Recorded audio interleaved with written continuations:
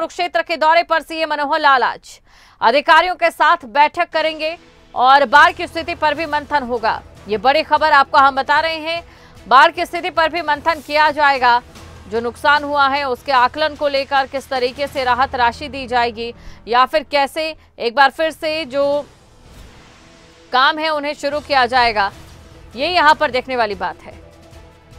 तो बड़ी खबर आपको बताने, कुरुक्षेत्र के दौरे पर सीएम मनोहर लाल आज रहने वाले हैं। काफ़ी खास उनका ये दौरा क्योंकि हाल ही में करनाल में भी हमने देखा पानी पानी सब हो गया था। खबर पर अधिक जानकारी के साथ संवाददाता राजीव अरोड़ा हमारे साथ जुड़ चुके हैं। राजीव देखिए इस समय सरकार के कांधों पर ये ज़िम्मेदारी है कि किस तरीके से एक बार सब रीडेवलपमेंट करके सब कुछ वैसा कर दिया जाए जैसा कि पानी आने से पहले था।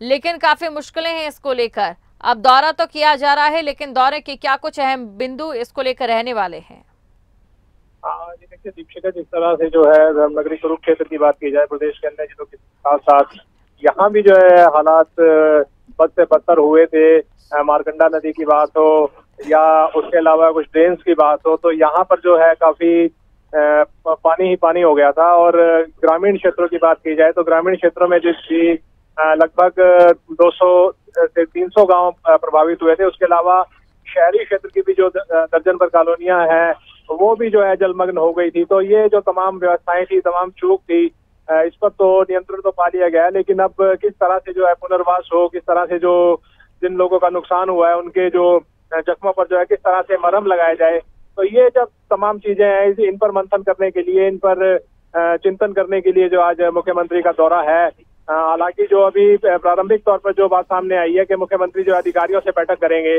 लेकिन क्या वो बाढ़ प्रभावित क्षेत्रों का भी दौरा करेंगे या जो बाढ़ पीड़ित हैं उनसे भी मिलेंगे, इस बारे में अभी कोई पुख्ता जानकारी नहीं है। लेकिन ये जानकारी ज़रूर है कि जो अधिकारियों के साथ बैठक होगी, किस तरह से जो है पुनर्वास का जो कार्य है, उसे जो है अमली जामा पहनाया जाना है और जो व्यवस्थाएँ हैं, उन्हें किस तरह से चुस्त दुरुस्त किया जाना है।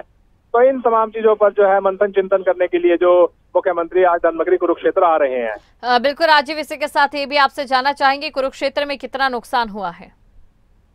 देखिए, कुरुक्षेत्र में यदि जो ग्रामीण क्षेत्र है, वहाँ की जो फ़सलों की बात की जाए तो लाखों एकड़ जो धान की फ़सल है, वो उसका नुकसान हुआ है। हालाँकि उसके लिए जो मुआवजे की जो प्रक्रिया है, पोर्टल खोला गया है, क्षतिपूर्ति पोर्टल पर जो है, जो किसान है, उन्हें अपना ब्यौरा दर्ज कराना होगा। उसके अलावा जो मेरी फ़सल, मेरी ब्यौरा पोर्टल है, वहाँ भी अपना जो है ब्यौरा दर्ज कराना होगा। उसके बाद जो है, उन्हें कितना नुकसान मिलेगा, कितना आंकलन होगा ये तमाम चीज़ें जो है देखने वाली बात रहेंगी, लेकिन जो प्रारंभिक तौर पर जो किसान है, उनकी ये मांग है कि उन्हें चालीस हज़ार रुपए प्रति एकड़ के हिसाब से जो है मुआवजा दिया जाना चाहिए।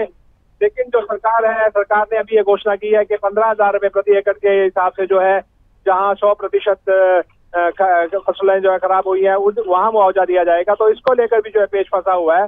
देखने वाली बात ये रहेगी कि क्या सरकार जो है कुछ ज़्यादा मुआवजे की घोषणा करती है और जो किसानों की मांग है उसे पूरा किया जाता है या नहीं किया जाता, ये तो आने वाला समय बताएगा।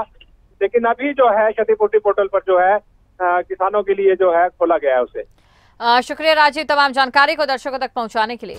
तो अधिकारियों के साथ बैठक करेंगे सीएम, ये बड़ी खबर आपको हम बता रहे हैं। बाढ़ की स्थिति पर मंथन किया जाएगा।